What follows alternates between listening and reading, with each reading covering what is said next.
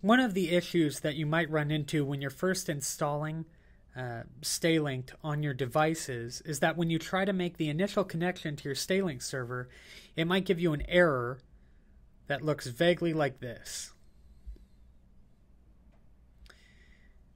Code ESP0003. No, whatever your emulation is, key map found for device, and then it's going to give you the device type that's assigned by the StayLink software. The way this is resolved is by adding the keyboard map for that device onto your server.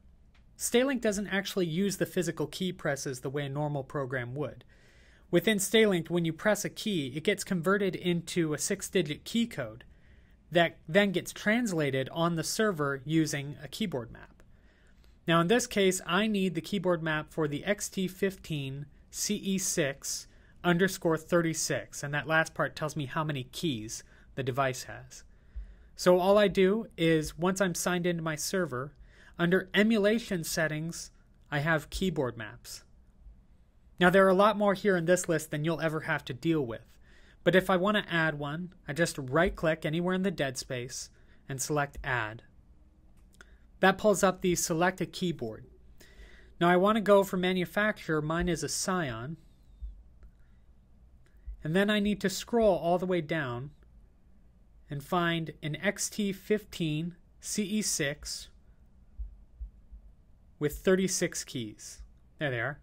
Now I run 5250 emulation here, so I'm going to select that one.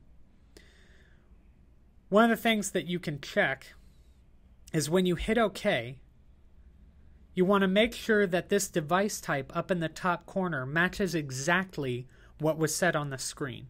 If it does, then all you have to do is hit File, Save Changes. Now if we scroll down, there's my XT15 running CE6. Now if I go back to my device and show you the screen,